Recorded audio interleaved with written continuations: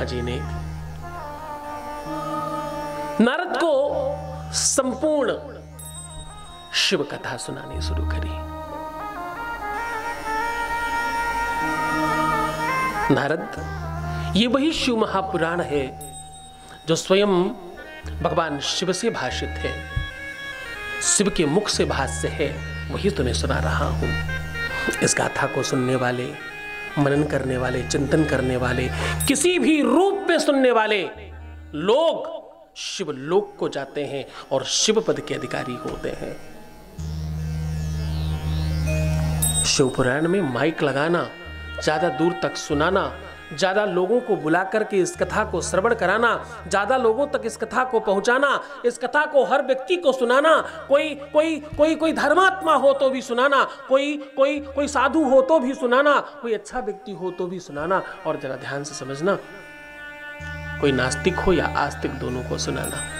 क्योंकि किसी भी रूप में अगर ये कान में पड़ गई तो उसे मोक्ष मिलेगा। उसे शिव पद मिलेगा। उसे शिव भक्ति की कृपा से भगवान शिव का आशीर्वाद मिलेगा। क्योंकि इसका नाम श्रुति है। श्रुतम हरति पापानी, आरोग्यम धन प्रक्षति इससे धन बढ़ता है, वैभव बढ़ता है, संपन्नता बढ़ती है, घर में सुख और शांति आती है। हाँ वैभव बढ़ता है कलह समाप्त होती है, रोग समाप्त होता है, शारीरिक सुख मिलता है और और और वो सब कुछ प्राप्त होता है जो आप पाना चाहते हैं। नारद, वही शिव महापुराण तुम्हें सुनाऊँगा मैं। शिवपुराण की महिमा के बाद बाबा ने रुद्राक्ष की महिमा बताई है।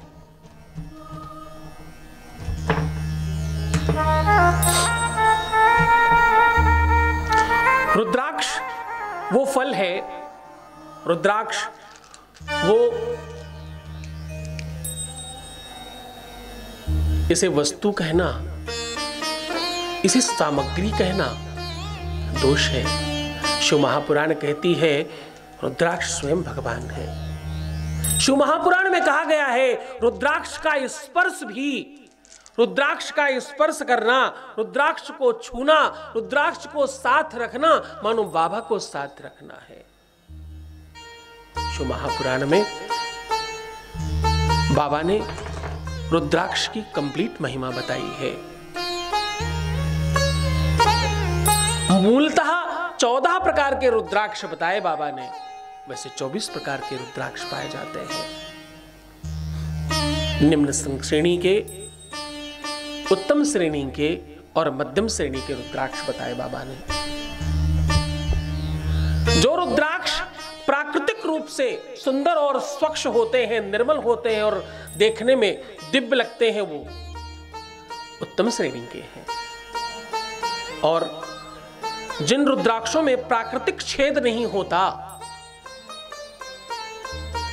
वो रुद्राक्ष जिनमें मनुष्य के द्वारा छेद किया जाए वो मध्यम श्रेणी के रुद्राक्ष माने जाते हैं, जो रुद्राक्ष जिनमें कीड़े लग गए हैं, घुन गए हैं, टूट गए हैं, खराब हो गए हैं, उनको निम्न श्रेणी का रुद्राक्ष माना गया है।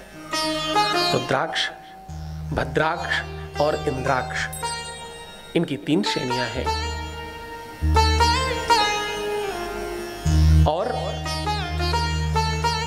रुद्राक्ष किसी भी प्रकार का क्यों न हो, रुद्राक्ष जनमानस को तत्काल लाभ पहुंचाता है, ऐसा शिव महापुराण कहती है।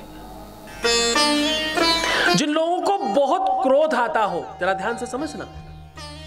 जिनको बहुत क्रोध आता हो, जिनका क्रोध शांत नहीं होता हो, जिनके, जिनकी क्रोध की वजह से, जिनकी जिनकी बहुत सारा अंट संट बोलने की वजह से बड़े रिश्ते खराब हो रहे हो। उनके जीवन में सबसे बड़ी तकलीफ़ यही हो कि वो अपने क्रोध को और अपने आप को संयमित नहीं कर पा रहे हैं। तो क्या करें?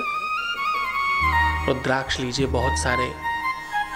एक तांबे का बड़ा बर्तन रखिए, उनके लिए जिसमें उसमें जल पिएँगे और उसमें 30 परसेंट रुद्राक्ष भर दीजिए। और फिर जल भरिए। उसी जल से उनको दीजिए उन्हें पीने के लिए। ऐसा 31 दिन करने के बाद उनका क्रोध पूरी तरह से शांत हो चुका होगा। आप आप देखेंगे, मानो मानो भगवान शिव की कुछ ऐसी कृपा हुई है कि अब वो वैसे रहे ही नहीं जैसे थे। कोई दुष्ट हो,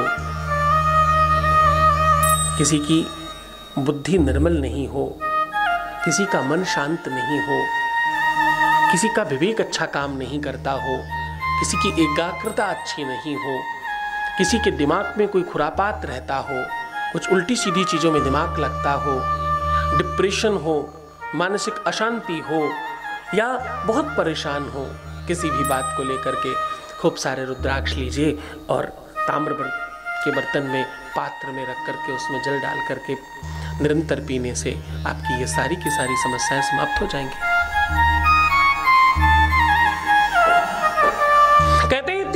370 रुद्राक्षों का मुकुट बनाकर निरंतर पहने वाले व्यक्ति को राजस्व पद प्राप्त होता है।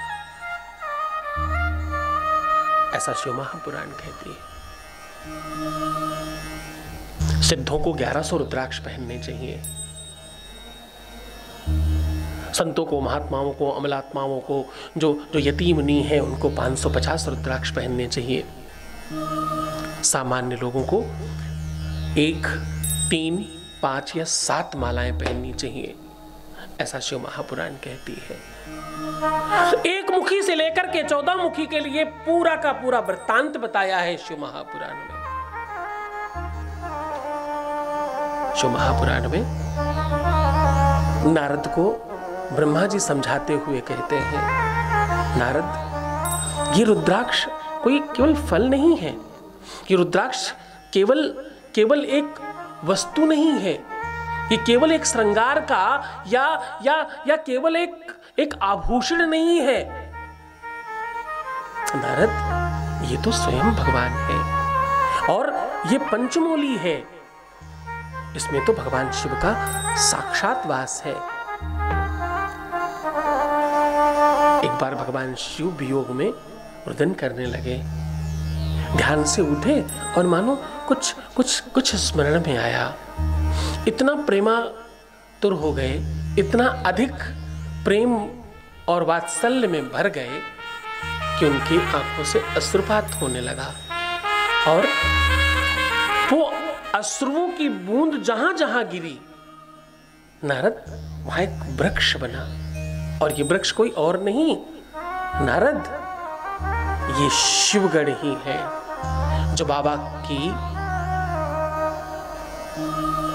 वास्तविकता को संभाल कर बैठे हैं अपने अंदर।